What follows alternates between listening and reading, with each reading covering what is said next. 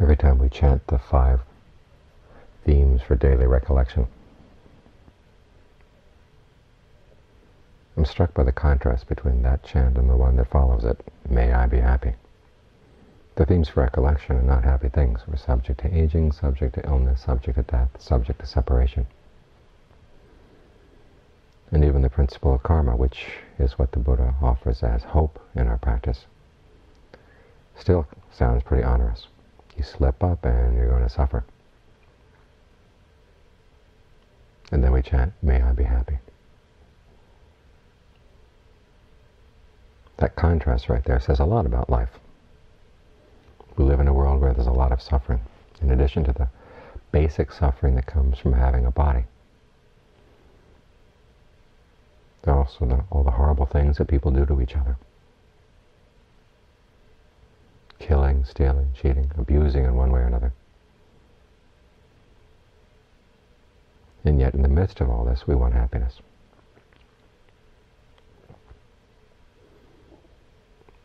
It's this desire for happiness that underlies the whole practice. Coupled with an understanding of karma. Without that understanding, we just the desire for happiness becomes sentimental, it becomes rather unrealistic sometimes. But as a principle of karma says, if you act with skillful intentions, the results will be happy. The results will be pleasant.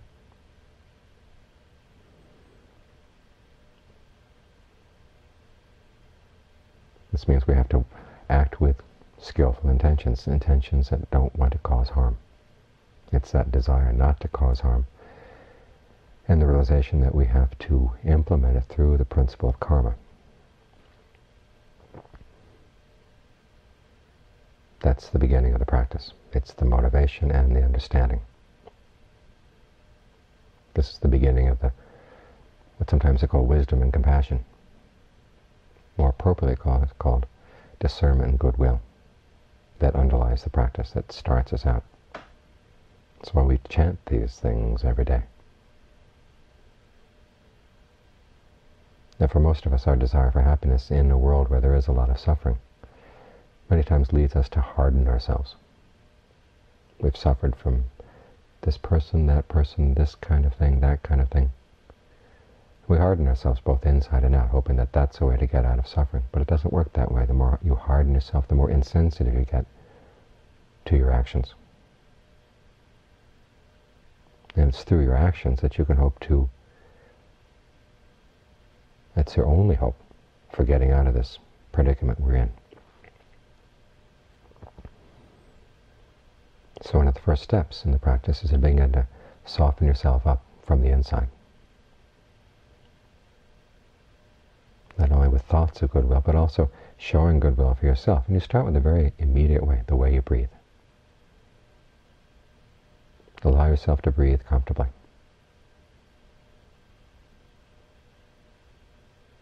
Think of the breath not only as the air coming in and out of the lungs, but also the whole energy flow in your body. Can you detect any part in the body where things feel depleted, like they're lacking in energy?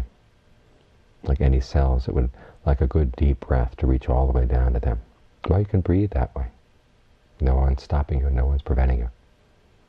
Just remind yourself of the possibility to open up and try to be as sensitive as possible to how the energy flow in your body feels. Sometimes we harden ourselves to this, which makes it hard to follow the breath, makes it hard to stay in the body, constantly running out, running away. Some people have suffered so much in life that they can't even find their bodies. They close their eyes and there doesn't seem to be any body there. They've shut everything off inside. But with patience, as you learn to get in touch with your breath, learn to be more skillful with the breath, allow yourself to open up inside. Get over the fear that you're just going to open yourself to more suffering. You find that the breath becomes a strengthening quality in addition to being a pleasant place to say, it gives you more and more energy.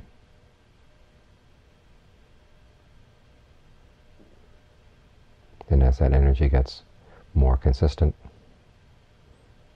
you can allow it to fill the whole body. And as that energy fills the body, impressions from outside like, make less, less and less and less of an imprint, less of an impact on you. It's almost as if you set up this energy field that repels the negative energies that come from you, come at you from outside. So in this opening up inside, this softening up inside, allowing yourself to be more sensitive, paradoxically makes you stronger. If you're consistent, if you're really devoted to following through. We're developing qualities of the mind here. We're not looking for little insights that we can wrap up and take home. We're looking for skills, and this is the beginning skill, getting more and more sensitive to how the breath feels. It requires alertness, it requires mindfulness. And as these qualities get developed, those are the qualities you take home. Those are the qualities you put into use at all times.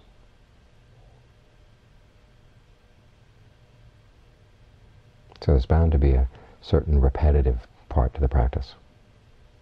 We keep coming back to the same issues over and over and over again.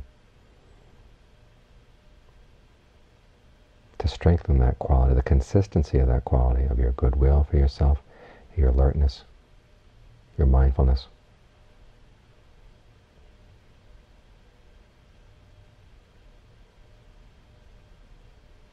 all the qualities you want to develop in the mind.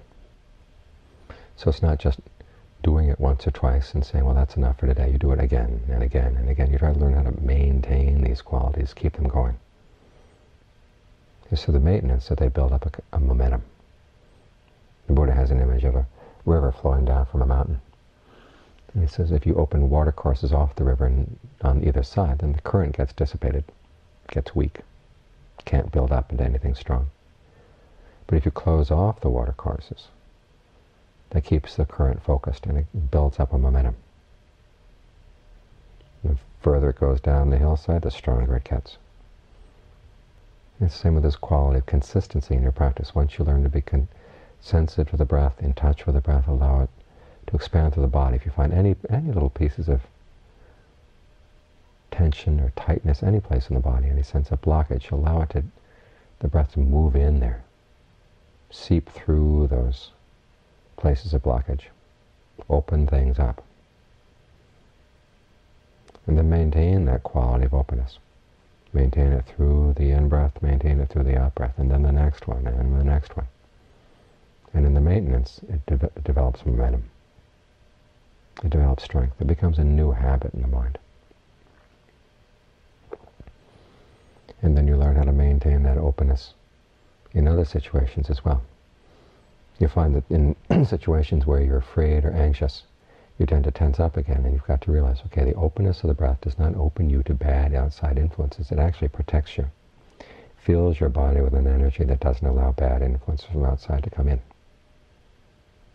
So in your inner sensitivity, you gain strength.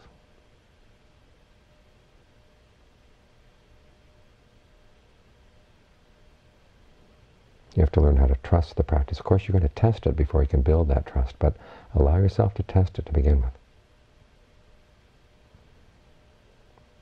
And the more you test it in different situations, the more you find it really does work. And this allows you to explore this quality of inner sensitivity even further. Because once you've got these qualities more and more established, you can start asking or continuing to ask the question of where you're causing yourself suffering that you don't have to. You can ask it with more finesse, with more precision, greater sensitivity, so you get into more subtle levels of stress that you cause for yourself, or subtle levels of action in the mind. The Buddha's teaching is basically a challenge. He says, how far can you pursue this question of not harming yourself, not harming others, being sensitive to what you're doing, and learning how to stop doing anything that's causing unnecessary stress.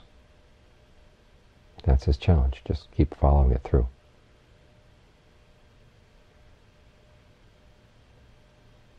We often think of the Buddhist teachings as an interesting body of thought and interesting philosophy of life, interesting mode of practice. But he meant them to be more than just interesting. He meant them to be challenges. saying if you follow this all the way through, it takes you to the total end of suffering. It takes you even beyond space and time, total limitlessness. That's quite a possibility. You turn around and you look, look at your life. Are you living a life that's pursuing that possibility, or are you closing yourself off to it? Doesn't that challenge pique your curiosity? Is this possible?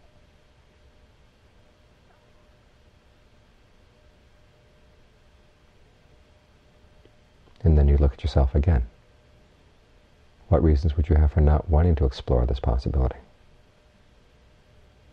That you can learn to end all the habits that cause stress and suffering in your life.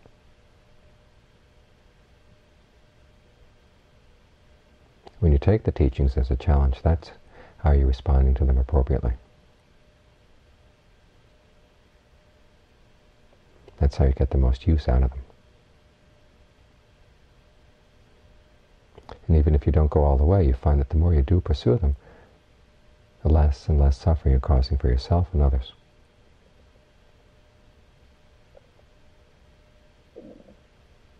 So even if you don't make it all the way to the end of suffering in this lifetime, you've made a definite improvement in your life.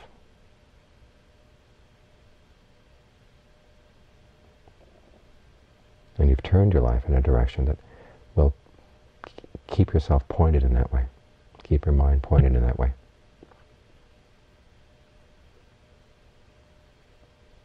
And you find yourself with a real sense of accomplishment. Not the sort of accomplishment you can measure in outside terms, but a greater sense of having cleaned out the mess inside, straightened out the unskillfulness inside, opened yourself up inside.